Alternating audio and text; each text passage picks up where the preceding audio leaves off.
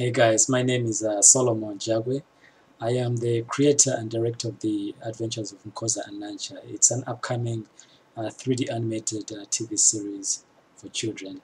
And in this tutorial, I'm going to be sharing with you some of the results uh, from the research I've been doing uh, using iClone uh, to create lip syncing.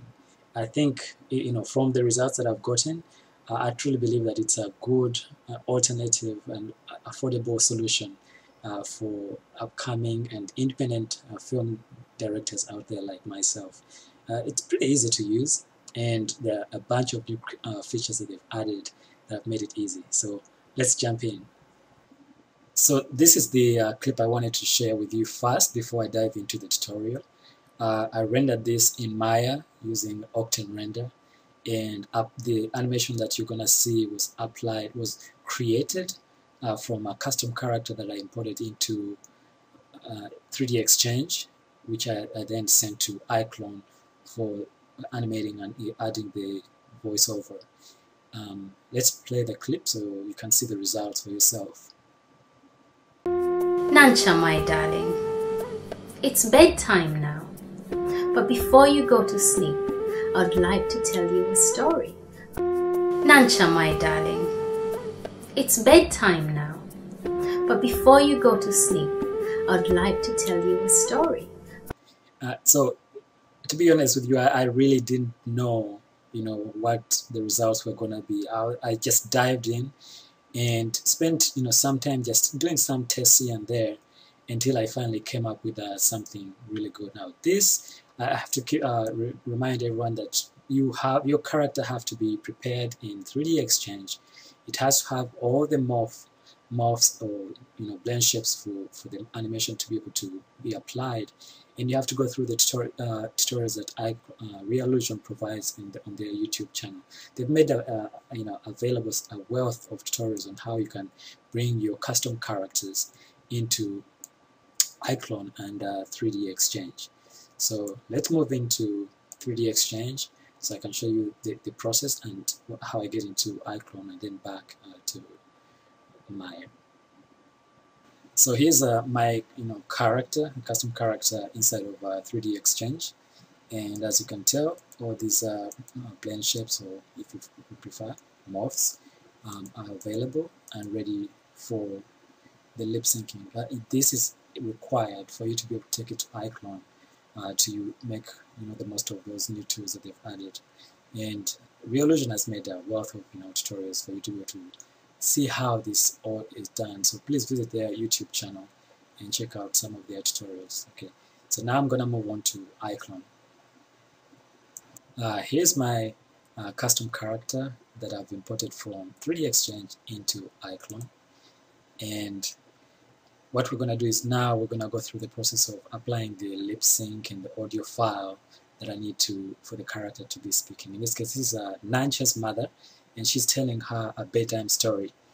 And one thing that I really that drew me to iClone initially was seeing some of the new uh, features uh, with the uh, character creator, you know, character creator, I guess characters and this is what I mean. Uh, when you select this character, for example, and you go to the animation pad and you create a script, right? And you Im Im import the audio file. Okay? Nankya, my darling, it's bedtime now. But before you go to sleep, I'd like to tell you a story. So, as you can tell, you know, well, please ignore the flickering on the screen. I think it's like a graphics, you know, driver issue. But if we're gonna, let me bring up the, select the character, and let's bring up the avatar, root node, so we have the access to the visa, uh,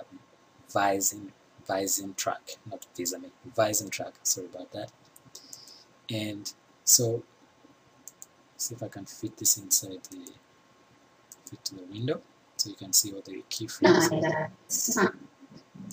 And this default setting, right, when you right click on the audio file, there is a feature here that is missing when you're working with custom characters. And that's the feature that actually makes it possible to have smoothing and making the characters look like they are speaking more you know, fluently.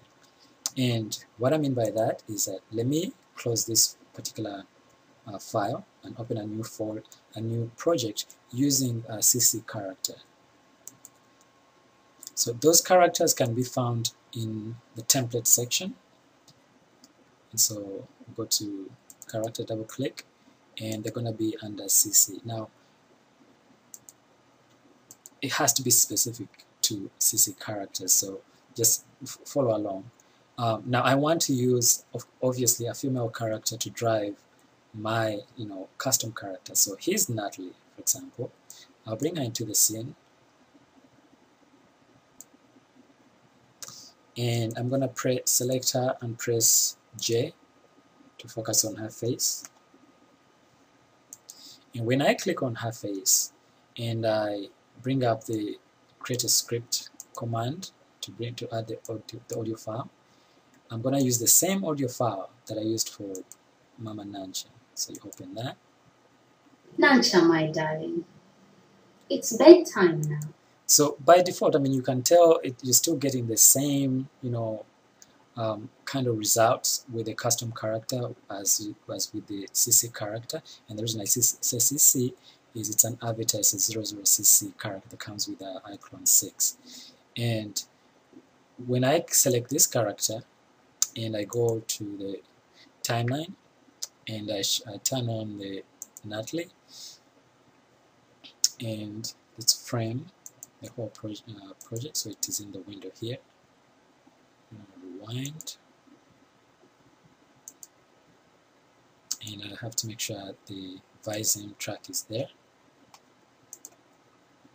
expand it.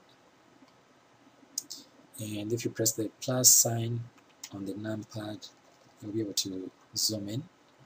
And so notice this little option right here. It says lip options.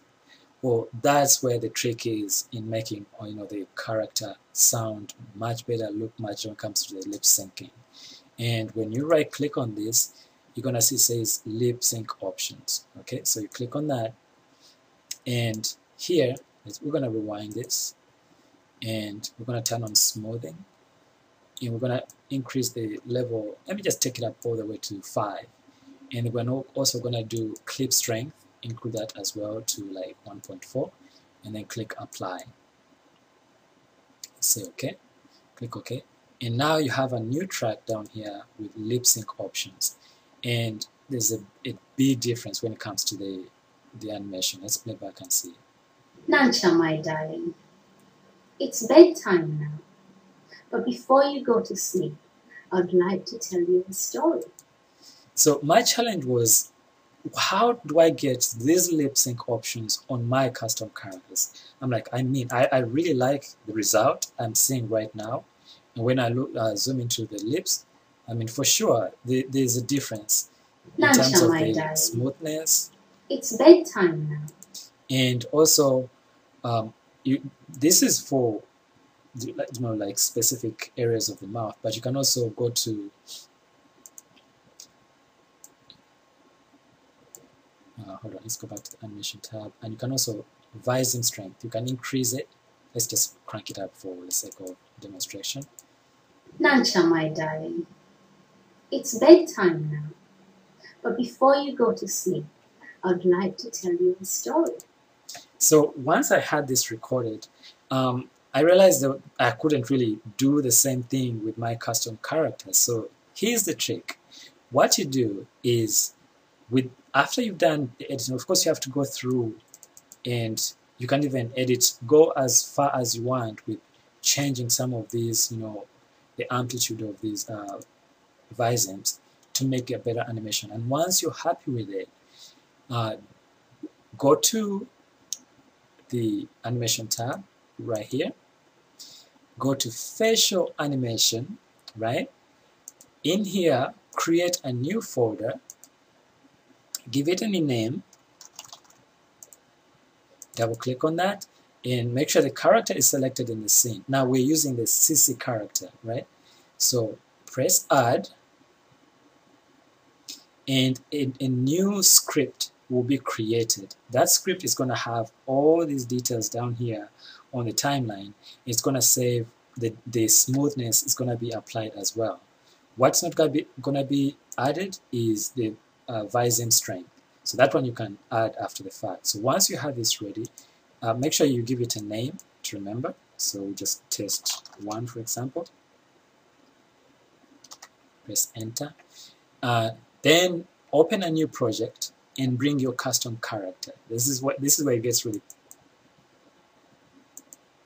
So after I load my character back, the custom character, I just click on her and double click on this test one.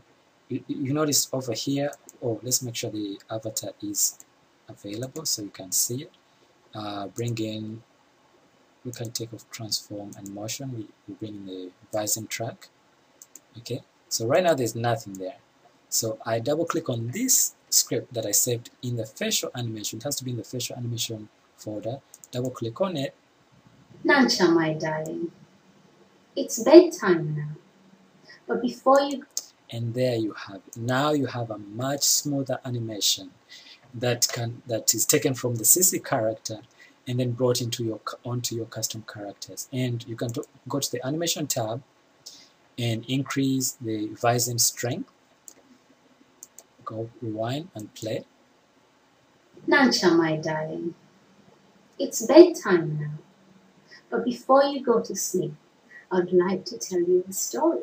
So this is what we did in just a short period of time. You know, so you, if you spent a whole day, you could improve this to, to a much better, you know, animation clip with lip sync.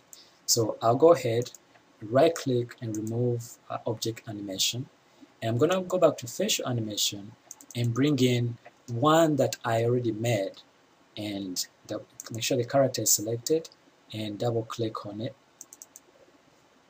Nankya my darling it's bedtime now. You see how much smoother the but leaves before are? you go to sleep I'd like to tell you a story about Mrs. Elephant so that is the result that you're able to get and when you're ready to, once you're happy with the animation, uh, simply, I'm gonna make sure again I fit to window, uh, drag the range, make sure collect clip is enabled, it's, it's up here, you can turn it on if it's not available, if it's not visible, then drag and uh, drag, dra click and drag to select a range of the file that you want to send to 3D Exchange. So right click on that and add motion plus. It has to be add motion plus to 3D Exchange. Make sure your character is available in 3D Exchange and then click on that and it will do its thing. So we'll go back to 3D Exchange. Nankya, my darling. And it's bedtime. Let's zoom in. But before you go to sleep, I'd like to what I, I recommend is make sure when you bring in the character, uh, don't just send it right away. Make sure you actually save the animation and then that animation can be applied to your specific character. That's why I was, that's how I was able to apply my my animation to my character that I had imported in here. And when you're done, then you can export out of this into Maya and render really with any render engine that you want. But going back to iClone again, the key again is to work with that those CC characters first, right? This could be Christian if it's a male, start with Christian. If it's a female, start with Natalie. And then save that file uh, into the animation tab in the facial animation as a script and then apply that script to your custom character. And then even after you've applied that uh, the animation you can still go back and fix what if there's something that you don't like you can go back and still fix it in here and then send the animation to 3D Exchange and then off export as an FBX file to Maya. So that's the tutorial that I was I wanted to show share with you guys, and I hope you know it it helps anyone out there who's um, uh, you know an independent film maker or animator who's on a budget. Uh, I, I, iClone is truly an, a good solution or alternative uh, to a number of other you know to other expensive you know, facial animation or lip sync you know programs out there. Give it a try. Again, apologies for the flickering on the screen, but uh, I hope it this was helpful. And if you guys, if you have a few minutes to spare, just visit my uh, website where the, the Adventures of Nkoza is. Uh, it's Nkoza, Nkoza and Nankya.com. And check us out on uh, Facebook as well. It's our Facebook page. And also our YouTube channel over here. Uh, all those links are available. You can just click here. And I mean, this is a self-funded project. just, just like all of us dreamers, we always we have stories to tell. But I would really appreciate if any of you have you know some money to spare. Uh, take some time to you know give a uh, donate to the Nkoza and Nankya on the production, and uh, share with your friends. Thank you so much.